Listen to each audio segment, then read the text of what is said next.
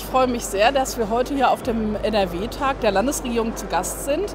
Die Initiative Zukunftsmetropole Ruhr ist ähm, ein Teil der Kampagne Stadt der Städte. Und wir freuen uns natürlich, dass auch große Unternehmen der Region, die Weltmarktführer des Wandels, diese Kampagne jetzt äh, mit ihrer Aktion äh, unterstützen.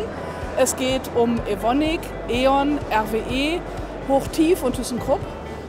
Also Hochtief nimmt an der Initiative Zukunftsmetropole Ruhr teil, weil wir schon seit vielen Jahrzehnten hier im Ruhrgebiet sind, diese Gegend lieben, die ist schätzenswert und liebenswert. Und wir brauchen in der Zukunft Menschen, die hierher kommen, moderne Jobs annehmen, uns weiter als Unternehmen fördern, mit vielen anderen Unternehmen zusammen. Und deswegen gibt es keinen besseren Ort, an dem wir uns so engagieren können wie hier. Wir nehmen an der Zukunftsmetropole Ruhr teil weil wir seit über 200 Jahren für den Wandel des Ruhrgebiets stehen und auch die Zukunft aktiv hier mit der Region und den Menschen gestalten wollen. Hier sind viele Menschen, hier sind viele Universitäten und hier sind Menschen, die mitgestalten wollen. Und das ist doch die beste Basis. Ohne Menschen geht es nicht. Ich glaube an die Zukunft des Ruhrgebiets. Wir haben hier herausragend ausgebildete Mitarbeiterinnen und Mitarbeiter. Das ist der Standort, der Zukunft hat und darum sind wir bei dieser Initiative dabei.